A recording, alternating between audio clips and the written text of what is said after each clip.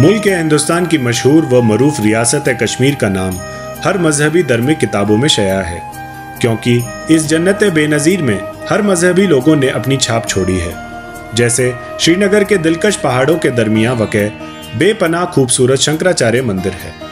जिसे वादी के साथ साथ भारत में ज्येष्ठेश्वरा मंदिर या पास पहाड़ के नाम से भी जाना जाता है। ऐतिहासिक पन्नों के मुताबिक ये मंदिर तीन ईसवी सदी में राजा गोपादित्य के शासनकाल के दौरान भगवान शिव को वकफ करते हुए बनाया गया था। यह मंदिर उस स्थान को भी दर्शाता है जहाँ भगवान शिव ने देवी पार्वती को ब्रह्मांड का ज्ञान दिया और यह भी माना जाता है कि आदि शंकराचार्य को इसी जगह तपस्या करने के बाद ज्ञान प्राप्त हुआ था। इतना ही नहीं, इस मंदिर की तवारी कल्हना ने अपनी पुस्तक राज तरंगनी में भी शया की है।